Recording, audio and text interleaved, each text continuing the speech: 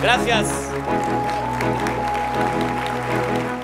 Hoy iniciamos con el pie derecho y pisando firme el proceso de renovación institucional de la dirigencia que ustedes generosamente le dieron la oportunidad de tener a Ivonne Ortega y un servidor hace dos años, ocho meses.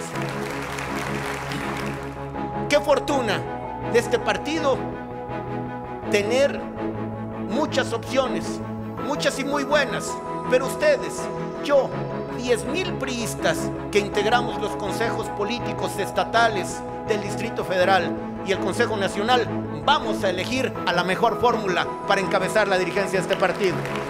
A partir de ahora, compañeras y compañeros, la elección interna marcha sobre rieles. Vamos a estar a la altura de las circunstancias y de las expectativas ciudadanas.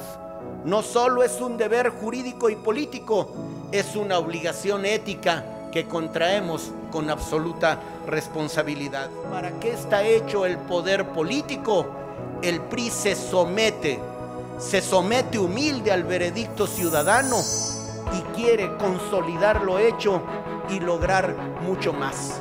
Que sí nos importa mucho el PRI, pero por encima de todo nos importa México. Felicidades.